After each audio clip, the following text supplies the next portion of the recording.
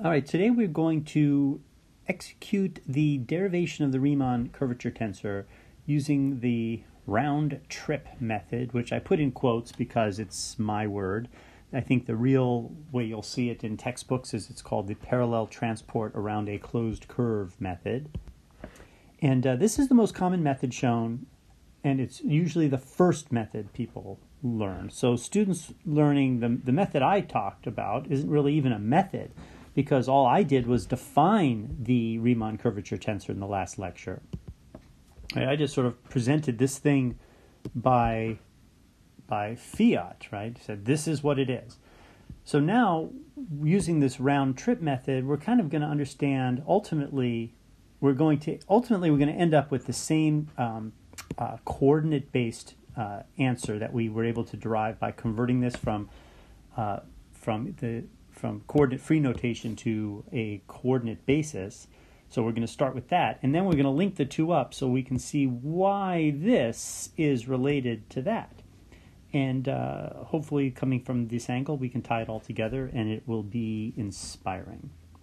The Riemann curvature tensor itself, by the way, is sort of like the, the place in general relativity where the wheels come off for a lot of people. It's it's the first place this word curvature comes up and that's exactly what inspires people to study the subject is really space-time is curved and when they say space-time is curved they usually don't even have that insight. They usually say space is curved right? And understanding that space is curved well that's true but the reality is is that the the, the theory talks about space-time being curved and the Riemann curvature tensor is the embodiment of that curvature. So this clearly is something that has to be understood in great detail. The problem is, is it doesn't help you visualize four dimensions any better, right? Understanding this is just a way of mathematically capturing what we mean by curvature. In fact, in some sense, this round trip method even defines a notion of what curvature is but it's still a mathematical abstraction. It, it, doesn't really help with your visualization of the world necessarily. And I think that disappoints a lot of people. They get all the way to this point, they run through the math that we're about to run through, and they don't feel like they can close their eyes and see space and time bending any better than they could before. Well, so be it. Right? The, the, the purpose is, the point is that the human mind is simply not equipped to have direct intuition on what this curvature is for anything other than surfaces embedded in three dimensional space. And at that level, we all have the intuition to understand it. We all understand that the surface of a sphere, right, the surface of a sphere embodies a geometry that is different from a geometry of a flat plane, right? That's not a problem. But taking that intuition and projecting it into four dimensional space where the metric is actually minus one, one, one, one, right? The metric's not even Euclidean. The metric's this Minkowski metric, this Lorentzian metric. That, that doesn't help, right? Even though all of this, this connection right here, is fully uh, uh, is fully controlled by the Riemann curvature tensor, in actuality, you've already passed the wickets of making this connection in principle because it's really, when I say it's fully controlled by the Riemann curvature tensor, I'm actually not doing justice to the connection, right? This is the guy that actually controls what curvature is, and this guy controls what curvature is through, as I said, the metric. So the metric is the thing that, if you understand the metric in principle, if this really good intuition were possible, you'd already be doing it. But because you understand the metric, but it, the metric is too maybe the metric's too deep, right? Maybe the metric is too subtle, and it the, the, the brain can't just go from the metric to the curved structure of four dimensional space. So then we think, okay, well maybe the connection is the answer. And that's a step because the connection tells us about parallel transport, which we can understand intuitively. I mean, I drew, drew a lot of pictures about parallel transport in the earlier lecture. So then but even that is not quite enough, although you know you can kind of understand curves in space time and how they might be geodesic curves if uh, if they follow the various the geodesic equation, right? You know, you can kind of get there, but even here, you know, we're still suppressing one spatial dimension in order to make this work, right? With time going this way and sort of an xy plane space, and z has been suppressed. So even there, we're suppressing dimension. So, well, all right. So this doesn't necessarily fill us with intuitive insight about the curvature of space time. Well, now we have one more shot. Maybe this guy will. Maybe the thing that's actually called the curvature tensor, maybe that guy will in fact be the trick. Once we understand this, then we'll understand four dimensional space time with a Lorentzian metric. Maybe that'll be it. Um, but uh, I think what what happens is you get to that point and you realize, yeah, you know, I'm just as the same place I was when I when all I understood was either the metric or the connection. It's it's it's still now a bunch of pure mathematical abstraction. So the journey to getting this understanding, this intuition, is sort of a long and slow one, and it doesn't. I don't think it ever really uh, pops out. It. I, I feel like the best you can do is sort of the, the journey that I described in the the book uh, available to the patrons. Um, what is a uh, uh, uh why does it move is the title of the book, and that's the book that I wrote that really does everything you can possibly do to try to understand visually um, what we mean by uh, curvature of space time. And it's you know it, it does it tries its best, but it's really just a uh, a, uh, a trick, right?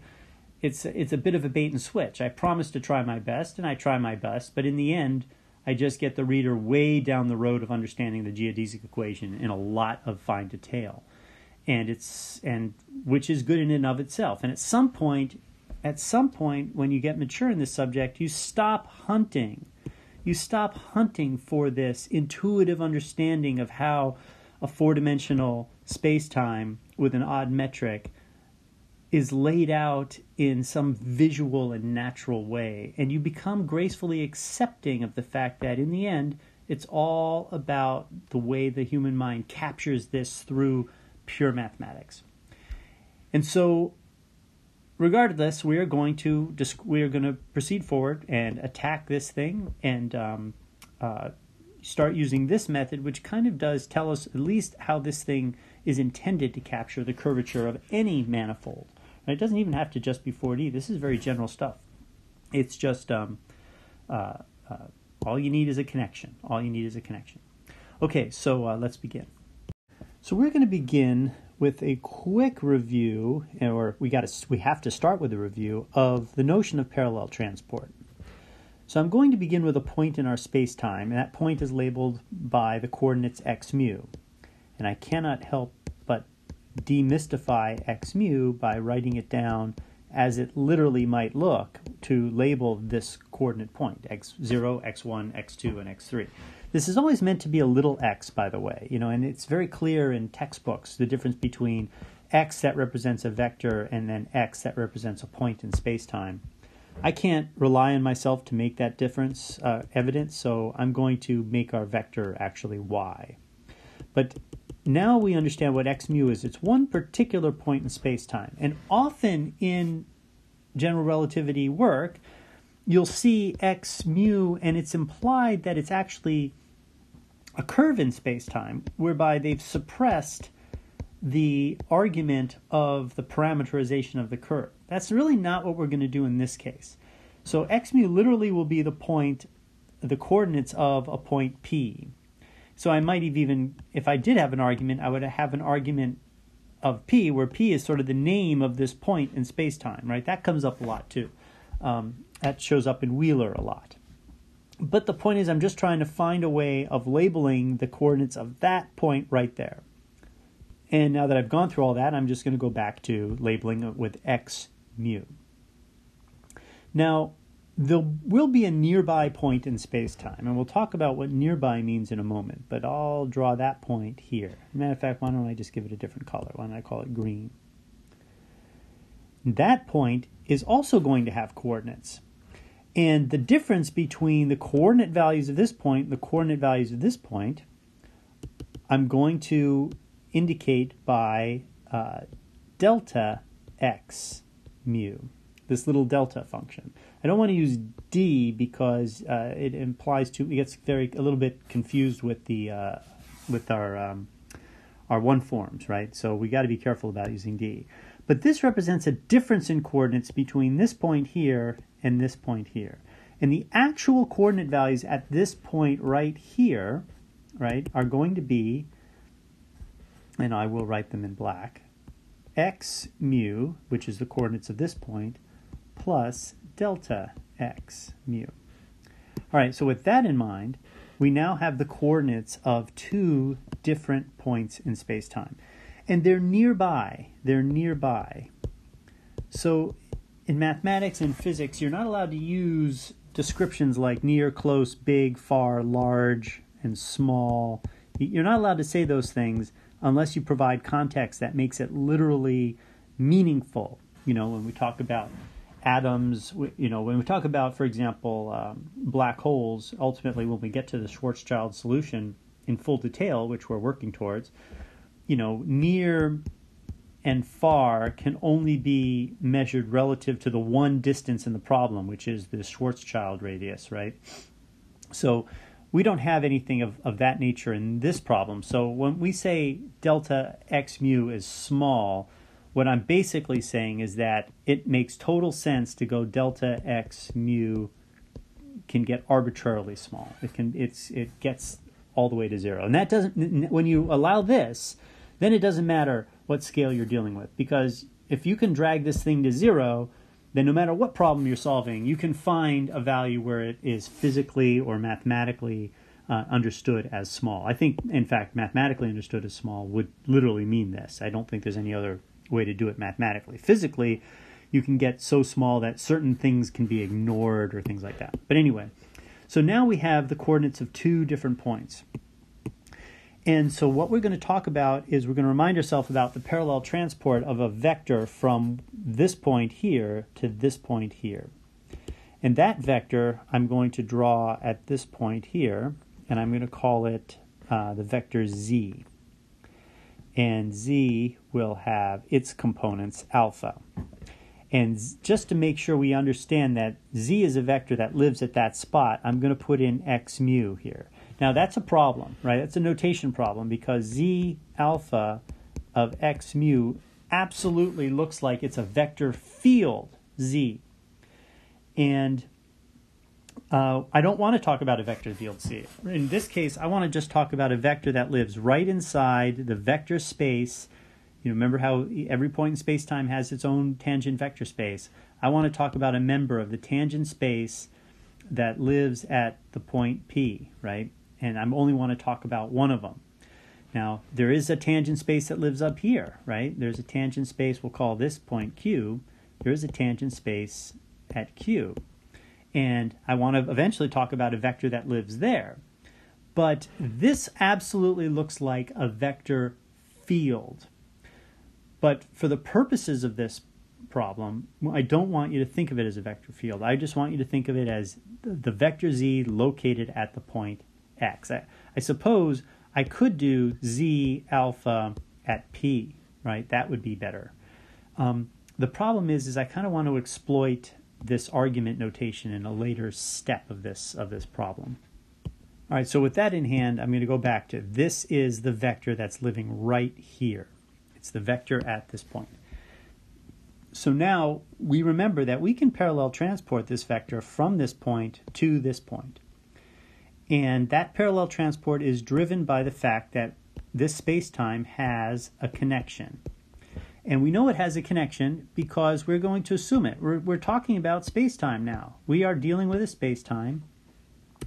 Therefore, we know a bunch of things. We know that it has coordinates, right? Because we know that a space-time is by definition a four-dimensional Lorentzian manifold, right? And because it's a manifold, we know that it has coordinates. That's the whole point of a manifold, is that it has coordinates.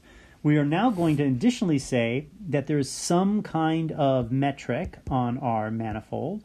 And once we have a metric, we know we can get a connection because we understand how to create the metric connection. So all that is assumed here. All that is assumed. Now the question is how are we going to characterize the curvature of this thing, right? That's our plan for this lesson is to understand the curvature that is driven by this metric flowing through the connection that it creates. we want to have a new way, a higher level way of characterizing the curvatures. This is a very low level way. This is an intermediate level way. We're looking for a higher level way. But all of this stuff here is assumed to exist. Okay, so with that in mind, um, back to the parallel transport. So I just erase everything except the connection because we know we have a connection. So because we are exercising parallel transport, we know that there is some vector here in this point that is the parallel propagation of this guy. And it's going to be parallel propagated along a line that connects the two spot points. And that's where the smallness comes, right?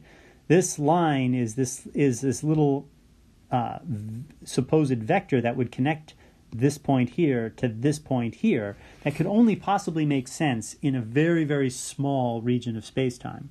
But we went through this construction in a previous lesson, and we understand that at this point, there's going to be some vector, which we're going to call z of alpha at x mu plus delta x mu.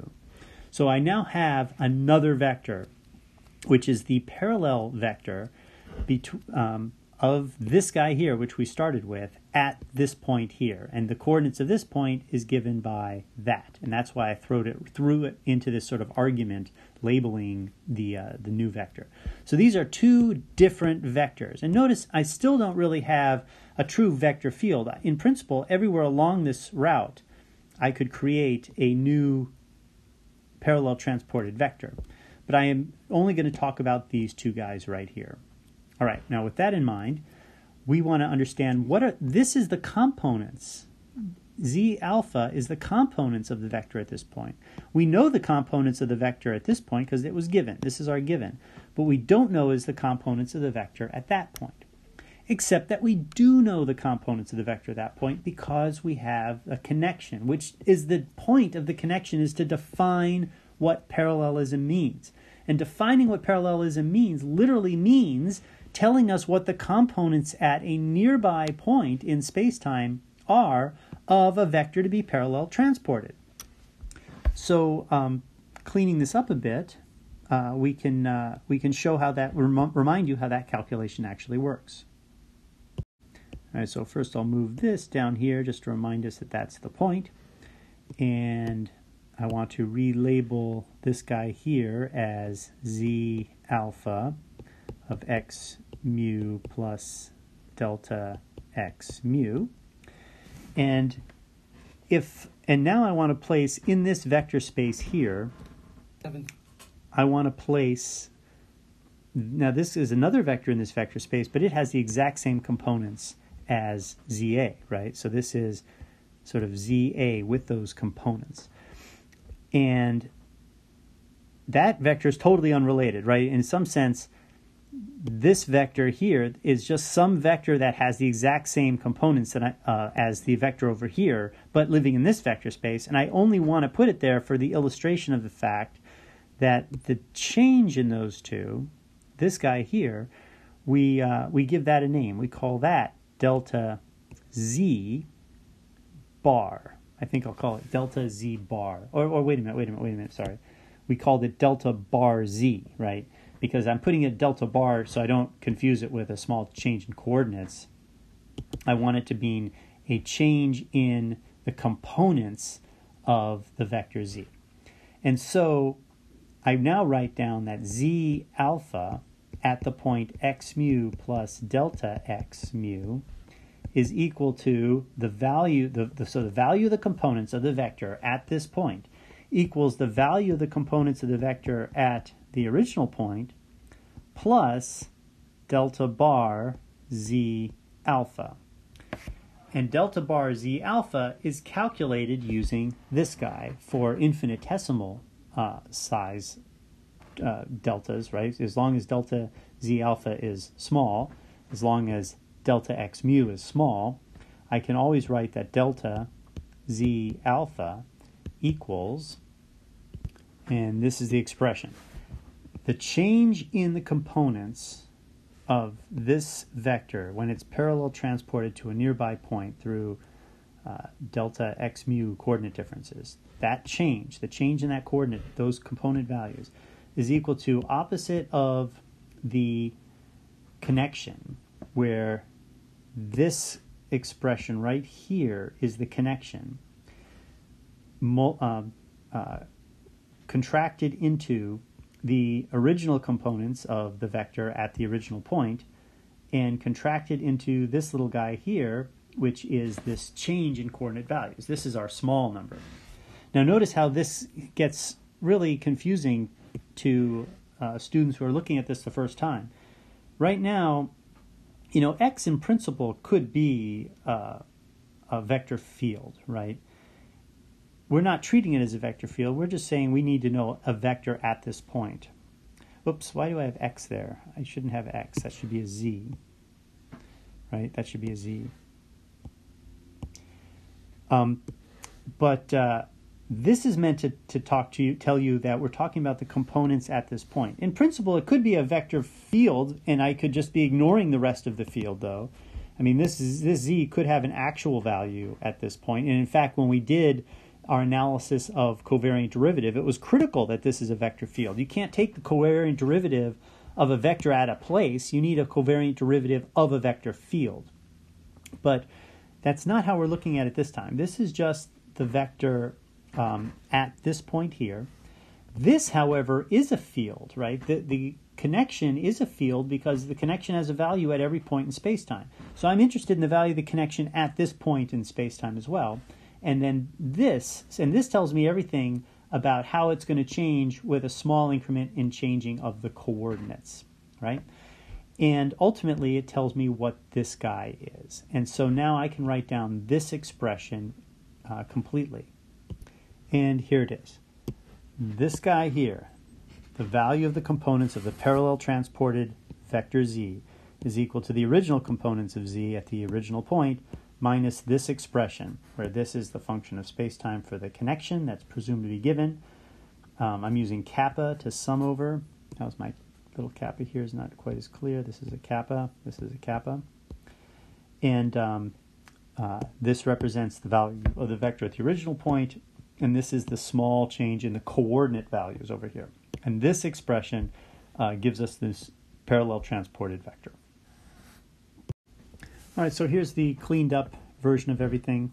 Uh, I'm tempted to drop the subscript here and just write this as z alpha, z alpha like that. And we, if we ever see it without, without the, um, I don't mean subscript, I mean argument. If we ever see the vector components without the argument, you have to assume that it's the one we started with at p, right?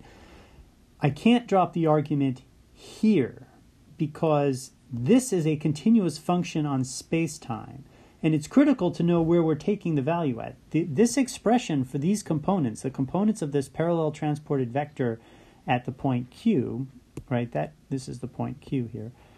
The um, uh, that is critically dependent on taking the value of the connection at the point p, and we're leaning on the fact that we've got a small increment in space time here, or an increment that's going to go to zero, that this delta is, small enough.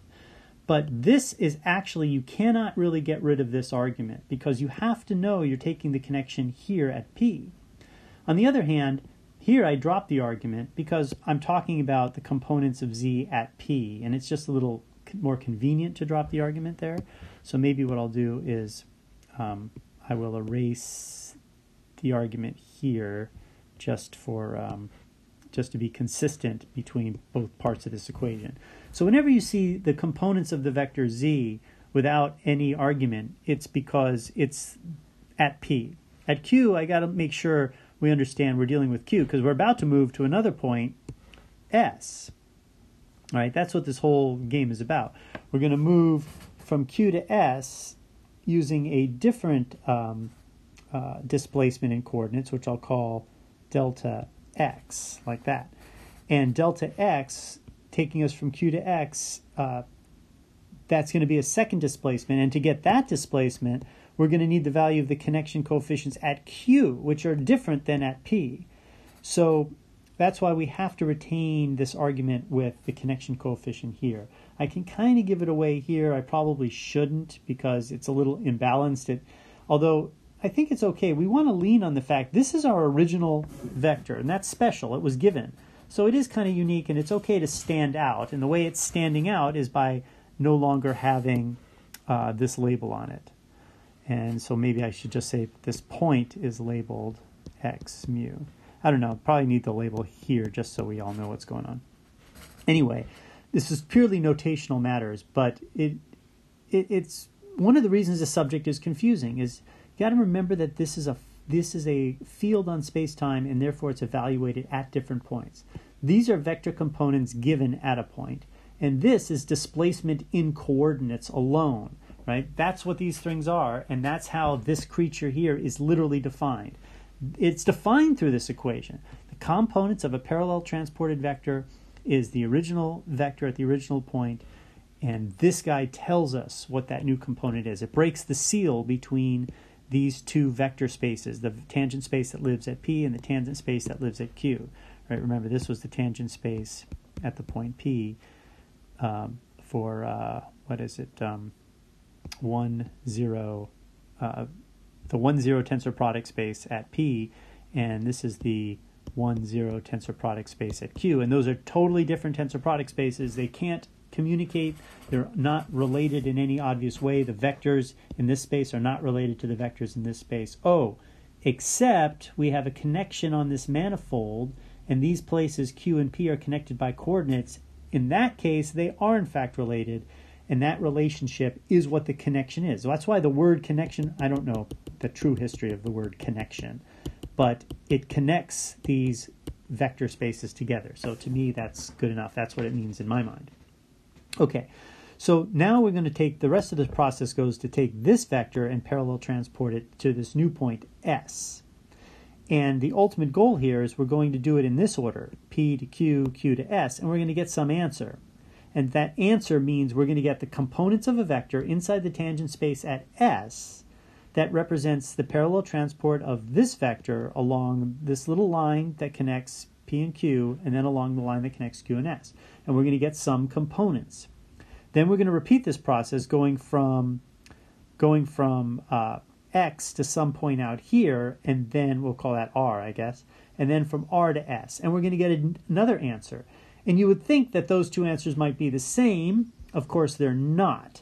Now, in a flat space, it doesn't matter if you take a parallel vector, you, if you parallel transport a vector from here to here, and then from here to here, or from here to here and here to here, you always end up with the same answer. That's what flat space is like.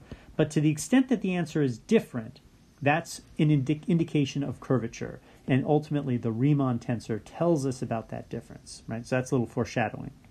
But we're going to execute the full calculation now. And the next step in the process is not too difficult to see. We're now starting with this vector, and we're going to move it here. So we're moving the the vector that was parallel transported from P to Q, we're going to take that vector and parallel transport it to S. So we're going to repeat this equation using this vector as the starting point. So this is the uh, general expression. Oops, I forgot a, uh, I guess a mu here, right? Uh, I forgot a little mu there for what it's worth. Uh, remember, this is still the same thing. It's a displacement of coordinate values, just like this. It's just from Q to S. So the total displacement from this point to this point is actually x mu plus delta x mu plus capital delta x mu, right? That represents the true value of the coordinates at s. It's not an approximation either. I mean, these deltas can go to zero, but uh, as long as they're, you know, of any size at all, that is literally the coordinates of this point at s. And um, the problem with this kind of notation, and you can see I've sort of played with it right here by replacing the pluses with arrows, um, is because we want to do it in a certain order. And certainly the value of the coordinates at S doesn't matter if you add this first or that. But I want to also articulate that there's a path involved, right? A path from P to Q to S. So it has to go in this order. So I've got these little arrows in here. Of course, the point is is that this is the components of a vector at a point s that has coordinates. So you have to sort of understand that you need to sort of add these up, but I also want to imply order. So maybe I could invent some notation, right? Why don't we just invent some notation, right? Uh, maybe if I, I these arrows aren't good because they don't let me add. So maybe if I put little crosses on the arrows, it tells us you're adding, but you're it's not very clean, is it? You're adding, but you're um, you're adding it in along a certain pathway. Now, granted, remember the number isn't going to change if you swap this with this, but the value of this, as I foreshadowed a moment ago, will in fact change if you do the sequence in the wrong order. So this is to try to capture the fact that we're dealing with the components of a vector z that's been parallel transported from p to q to s. That's captured by the arrows, 2q to s. And the value of the coordinate at s is the sum of those little deltas. So I've, I've created notation that will capture both of them. Uh, here it's a little silly because there's only one way to go, right? You know, I, I probably don't even, in this case, I probably should not uh, add my new notation. This stuff's been in the works for 100 years, and here I am on the fly creating new notation. That's probably not a good idea. Okay, anyway, um, proceeding uh, this is now the expression for the value of the components at this point S uh, in terms essentially of this point here of, of the value of the components of the vector at Z. Right, that's the value of the components at the point Q. Um, this is the connection coefficient at the point Q. You can see because I've kept that argument, you know it's at the point Q. And then this is the value of the uh, co- uh, components of the vector z at q, and then this is the new displacement from q to s. So now I know what this is, right? I can substitute this here, right? I can substitute this material right there for this right here. And uh, likewise, I can substitute this up here for this guy down here. So that's easy. Um, this one, however, uh, you can take it two ways. One, you can say is, well, look, this is given. You just kept saying it was given, right? You said, I know this function for all points in space-time. So therefore, what the heck? Yeah, uh, it's true. However, we want we want to know about the components of this vector. We want to know this actor, vector entirely in terms of everything local to P. So everything about this function that we can understand at P is all we want to understand what it is, what the components of the parallel transport along this, these two lines at S are. I don't want to rely on knowing something at Q or at S or anywhere in between. I want to stay entirely local to this. And my answer, the answer meaning the components of this parallel transport, doubly parallel transported vector at S, those components are the answer we're seeking. And I want that answer entirely in terms of things that are totally local to the original point P. What's local to the original point P? Well, the components are local to the original point P, and the value of the connection is totally local at this point P. But what's also local at this point P is the derivative of the connection, right? The first derivative of the connection. That's also local to point P. So I can use that. And indeed, that's exactly what I'm going to use. I'm going to use the value at the point P plus its derivative at the point P to get a good estimate at Q. And as long as delta is small, that estimate will be very, very good. And then now that I have the value of the connection at the point Q, I'll use that to estimate our final answer at the point S. So let's use things that are local to the point P to find the value of this guy right here.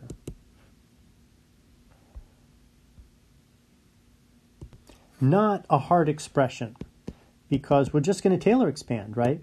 We're going to say that the value of the connection coefficient at the point Q is the value of the connection coefficient at the point x, x or p, which is local to point p, right? The value of the coefficient at p. And then you take the first derivative of the connection coefficient at p and multiply by this increment, and that is the first ordered correction of the value of the connection at p. That's the first order correction that gives you the connection at q. And by the way, this is our first sort of place where we can say what small means, right? To the extent that this answer is correct, identifies if this is small because these second order and third order terms have to be negligible. If the second and third order terms are negligible, based on whatever our criteria it is, then this is small. But we can now replace this expression with this expression, and now we have everything local at p. So I'm going to take, I'm going to take this and substitute it right there, right? Mm, let's see, I'm also going to make this substitution too. I'm going to make this substitution and the one we just talked about. Okay, so here's that substitution. This piece here has been substituted for this. Now you'll notice that I'm, for when z is alone, I'm just presuming it is the value of z right here at p. And because it starts getting too long to write. So, I mean, notation actually has this practical consequence in these strange places, but uh, ne- nevertheless, I've eliminated the uh, the x mu the, as an argument here. So we know that this is all local to p for this z. Uh, however, I've retained it here because I could have made the same. Actually, I could have made the same elimination. I should have said the coefficient coefficient the the connection coefficients. If there's no argument, then assume it's at p. That would have made this a little cleaner, and I, I should have done that. But anyway, um, so it's the connection coefficient local to p times the uh, components local to p times this little displacement. That's this expression up here that we uh, already worked out then this expression here is the value of the connection coefficient at q using the linear uh, in, using the linear estimate. So this is our first sense of having a small displacement delta uh, x super delta. Um, and uh, then this is the same replacement we did here, right? This this guy right up here being replaced into this here that's what this guy is, and then here's your capital delta Q. Um, one other little artifact I guess I should point out is is that when you have these arguments carried around, I love talking about notation. I don't I don't know why, but when you carry these arguments around, you end up with these indices, and these these are not vectors, right? These are this the coordinate x. I'll just remind everybody, that's not a vector, even though it has a superscript mu. It's not a vector. It's you never see uh, the coordinates mu tied to a unit vector of any kind. That never happens. That is literally just a notational stand in for either x1 or x0, x1, x2, or x3. Or sometimes it's a stand in for the ordered quadruple. But as it is in the argument, it's important not to be confused that these indices in here, they do not have to be summed over. They don't follow the rules of index gymnastics. All the indices outside, though, do. So here you have the Einstein sum on B, and here you have the Einstein sum on gamma. Those do follow the uh, Einstein summation convention. But uh, notice that um, this is not a tensor, but then again, this here is not a vector either. Um, this is the only vector, and this is the vector components. This is an equation for the vector components. All right, so um, now that we have that, we are going to expand this as far as we can. And what are we going to see? We're going to see this term and that term are going to come together. This term and this term are going to come together, and you're going to have a derivative of a connection coefficient multiplied by a connection coefficient. And then you're going to have a derivative of a connection coefficient multiplied by the vector itself. And one term is going to actually be of third order. The third term, this multiplied by this, because remember this is out here, that's going to be third order. And we're going to ignore that. We're only going to keep the second order terms. And when we do that, what do we get? Oops, I just noticed an error in my substitution, right? I, quick, I substituted literally this expression here, and that's a mistake because this is the vector that needs to be uh, summing over kappa. So these two, this alpha here and that alpha there, those need to be kappas, right? those need without being kappas. Um, the uh, the indexes indices don't work work out. But you know what? That that's the beauty of this. Uh, immediately upon simplifying this, I noticed the mistake because it is absolutely a, a you you can't you can't make anything work logically unless it all ties together. The only leftover index in this vector here is uh, these two are summed over, so it's got to be this kappa. That kappa we know has to sum down here in order to keep this structure. See, the vector is summing over this first index on the connection coefficient.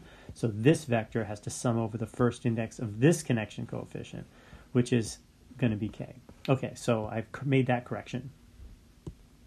And likewise, I just noticed that this delta here is also going to be, uh, should be a sigma. Should be a sigma. That is, so what did I correct here? Just to make sure. There's a delta, this guy right here, I had a moment ago as delta, and that's incorrect.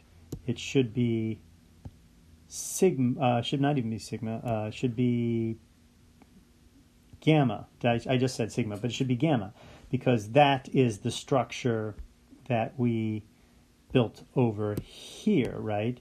the increment is summed over the derivative index, right? Because you're that's that that's the derivative term, and you're going to be multiplying that by the little increment to get the first order correction for the connection. So that has to be a gamma. So I have the gamma here, and then there'll be one other term. There'll be this term multiplied by this term, which will be a minus sign times a minus sign, which will be a plus sign, multiplied by that term. But this last term is going to have delta x gamma, delta x gamma again, and then capital delta x sigma. And that's third order in something that's supposed to be small. And these things are small enough that we are ignoring the higher order terms here. So they should be small enough that we could ignore the third order term here relative to all these others that are second order. This one's second order, this one's second order. That's actually first order, and that's first order, and that's zeroth order. So we're going to ignore the third order term plus order 3, and then we ignore that. And then this is what we have left. So this guy is our answer.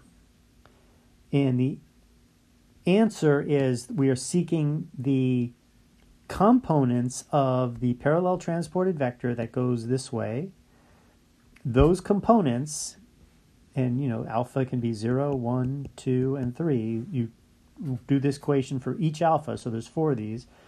And um, and that's right, though everything else will sum over. That'll sum, that'll sum, that'll sum, that'll sum. The kappas, the betas, the gammas will sum, the sigma will sum, uh, kappa, sigma, gamma, those will sum. You'll only have alpha. So you have four equations here. And those four equations will uh, tell you each of the four components of the vector that's been moved from P to S. So the next step should be relatively obvious. I've already foreshadowed it quite a bit.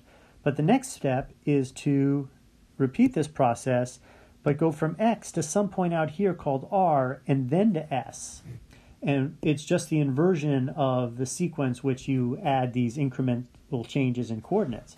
So I guess you would have the uh, arrow here going to delta x, capital delta x mu, and then little delta, or lowercase delta x mu.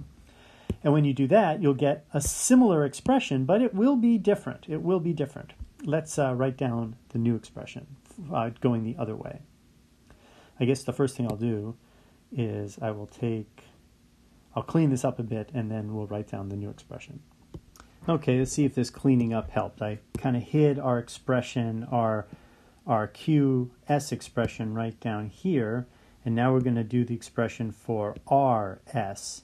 Notice it's you, you land in the exact same spot. Sometimes there's a little confusion about this point, but you're literally adding coordinate values. So you, you land at some point R, that's the only new thing, but once you add this to R, you're going to get back to S exactly. So it's not like the loop um, doesn't close. The loop actually closes. Um, it's just what happens to this parallel transported vector at this point along these two paths. That's what's different. So this is going to parallel transport. And you notice how I'm drawing these wacky vectors you know, there's there's no obvious relationship between this guy and that guy, and that's I'm just trying to emphasize that that's fine. That actually could be that way. It could very well be that the components of this vector here, parallel transported by this line, is some weird, unfathomably complicated relationship to those. It's all dependent on the connection.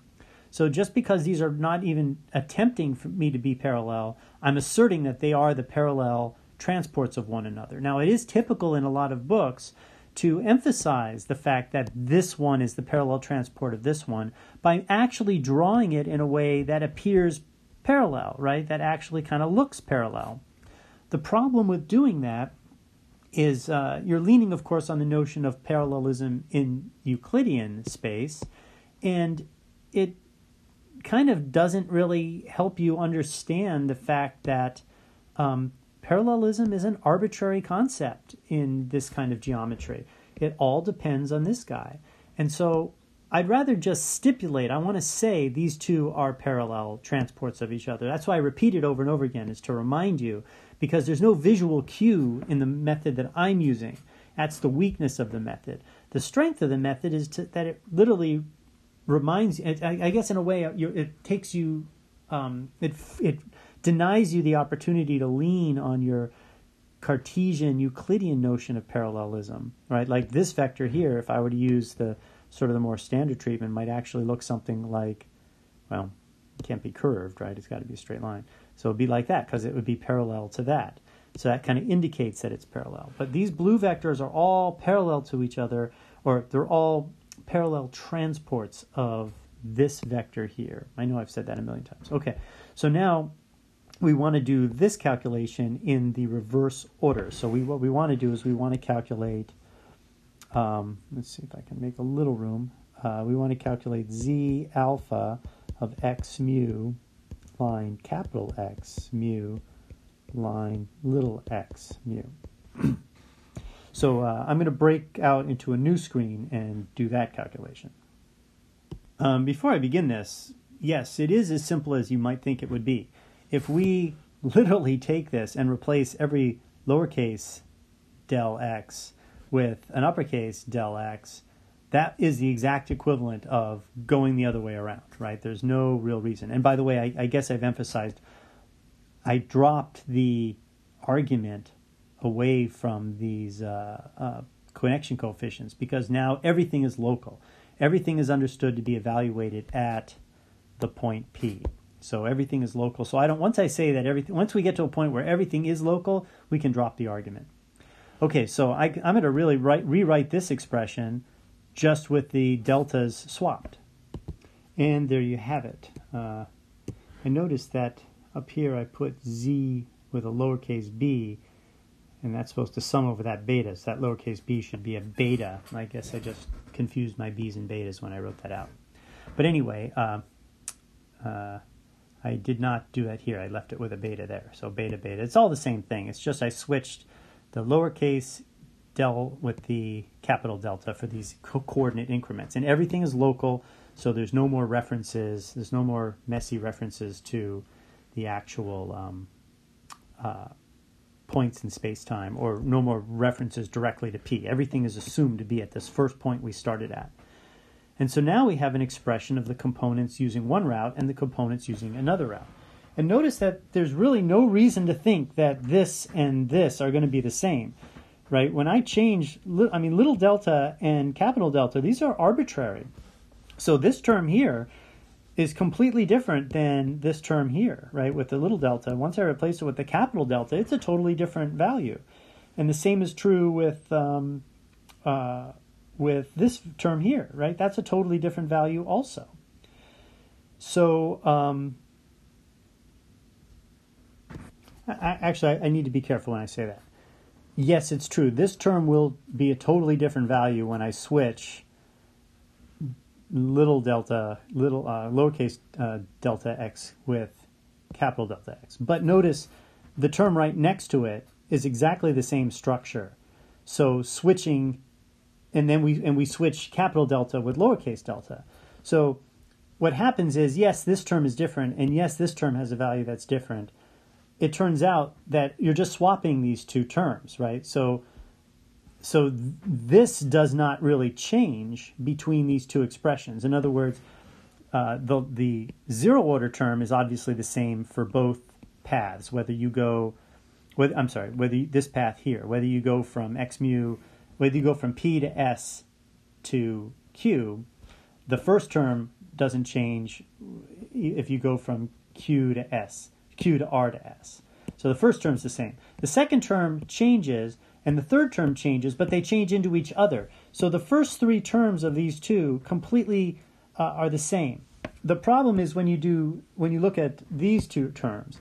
Here, the issue is the uh, the summation sequence is getting a bit mixed up because you're summing the large one into gamma, and you're summing uh, capital delta x gamma into this second gamma term with the index on the right side. And in that case, you're summing it uh, with the index, you're summing this, the small, uh, the lowercase delta term with the index on the right side. So this summation actually will change because you're kind of mixing up the way these things are added up together. And this one definitely will change because here you're summing the capital delta into the derivative part of the uh, derivative of the connection coefficient, and you're summing the lowercase delta into the body of it. And here you're doing just the opposite. So those two terms will change.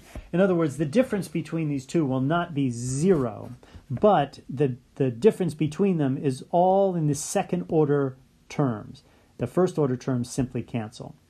So the difference is kind of what we're after. So, how do we calculate the difference?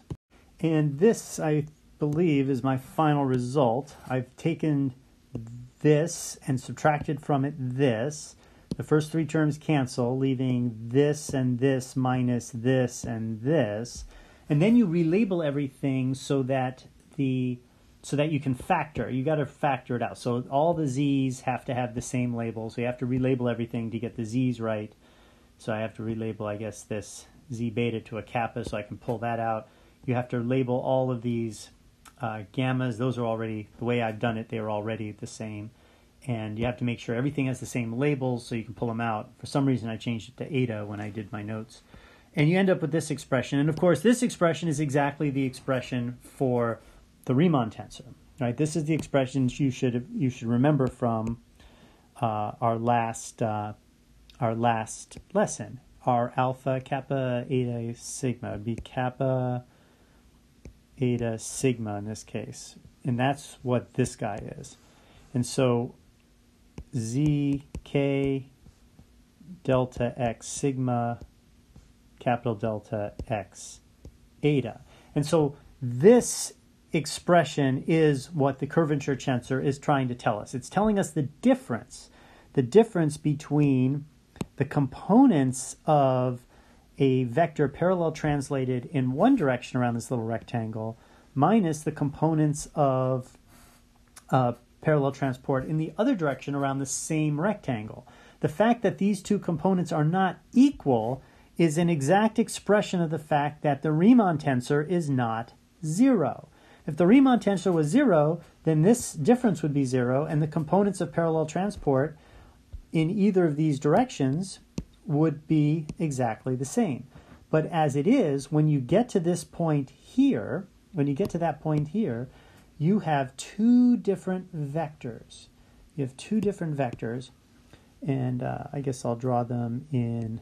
One will come around and be this guy, and the other, let's we'll call that one uh, the PQS vector. And then one will come around and it'll be this guy, and we'll call that the PRS vector. And these two vectors won't be the same. And this difference, this difference here, I guess, whoops, the way I did it was PQS minus PRS. So PQS plus the difference will equal PRS. So that difference there is going to be um, equal to the Riemann tensor, right? We go down here, look at the formula. The Riemann tensor is it's a it's a ten, so the Riemann tensor, and then you have three arguments in here. Now uh, that this calculation, this so this is actually an, uh, an important and subtle point. This calculation involves two coordinate differences, two coordinate differences, and uh, the initial vector. And what's left over, in principle, should be a vector, with the weird caveat that these guys aren't vectors. So it's like, wait a minute, how this is a tensor. Tensor takes three vector arguments. These are displacements in coordinates. These are coordinate displacements. So what gives there? So now we have to sort of presume that they're vectors all of a sudden. That's an important point we'll, we'll talk about in a moment. But uh, let's first get past what this thing is. This thing will give you the components of this vector here, the difference between the uh, parallel transport around this loop. And it's entirely in terms of things that you know from P. So from information you glean at P, which is the vector itself, the little displacements that you're going to be exercising, um, the connection coefficients, and the first derivative of those coefficients, that tells you how much you're going to be off by going through one path versus another path. Now, the reason that this ultimately becomes the Riemann tensor, and that's why I don't like this exposition, is because what we're doing is I'm calling this guy a tensor, but I'm actually operating on it on two things that are not really vectors, they're coordinate differences. Right? What we really want is something that looks like a tensor, and the way I've drawn it here, it takes a, um, a covector and then it takes three vectors, right? So what we're doing essentially is because we're playing around with this notion of small displacements on a space-time, what we're doing is we're actually cheating a little bit. What we're saying is this displacement here, this displacement here, you know what it really is? We're going to go into this vector space and we're going to actually create a tiny vector and that vector is going to represent the coordinate differences. The components of that tiny vector are going to be delta x mu, and it actually is going to be a vector. And what we're going to say is that we're in where this spot is so small, that this difference is so small that we can pretend space-time is flat, and we can actually pretend that q and p are related by a displacement vector a little itty bitty displacement vector. We're going to cheat, right? And we're going to say that Q is actually displaced from, from P by a vector, and that vector is going to be this guy. And when we do that, because this guy, the components are small, and small now means that space time is relatively flat around here. It's as close to flat as we might want to make it um, which means that ultimately this will be small, right? Because that's the definition of flat spacetime is this is small, but it's not going to be zero. It's not going away. So now we can interpret this as a tensor. Now you can check that this object is a tensor. We do know it because we did our work in the formal uh, section in the last lecture. So we know this is a tensor, which we mean, we mean, which means we know it's linear. We know if we do coordinate transformations on it, we're going to get the exact same thing back in prime coordinates. But now what we do is we say that this re, this are these are the components. This is a tensor. These are the components of a tensor, and these small displacements are going to be treated as uh, little vectors of displacement, and that is the Riemann tensor in coordinates uh, in the coordinate basis using just entirely a coordinate type basis analysis. And this is by far the most common analysis done in, uh, in, in elementary general relativity textbooks. And so the other thing to say is this thing should be zero in flat spacetime, right? In, in flat spacetime, when you when you parallel transport this way or this way, you end up with the exact same vector. This green vector and this blue vector are right on top of each other. R, the red vector, is zero. And that is how you tell you have a flat space-time, is if the Riemann uh, curvature tensor disappears. Notice that you can't tell directly from the coefficient, right? There's no um, immediate way of looking at the connection coefficients and determining if you have flat space-time. I could have flat space-time in spherical coordinates, and these coefficients are certainly not zero, right? So but it's still flat. But the Riemann tensor will be flat when you combine this, when you take these connection coefficients and run it through this expression here, every single term will be zero. Every single term will be zero. That is not an obvious relationship, right? But that's what this curvature tensor is telling us using this first intuitive picture of how it works. All right, so now the next lecture, what we'll do is we'll take this analysis and we'll kind of tie it together with the formal analysis. And we'll see how the formal analysis is actually telling you the same thing about moving around a loop, right? Now we're going to, now that we've gone through this exercise, we're going to use the formal analysis and study how that tells us this, that actually has the same information in it and can be interpreted in exactly this way. And then we'll talk about a different view of the Riemann tensor that is often uh, expressed in elementary textbooks called geodesic deviation. And that actually has physical consequences. So that one's very interesting. Okay, see you next time.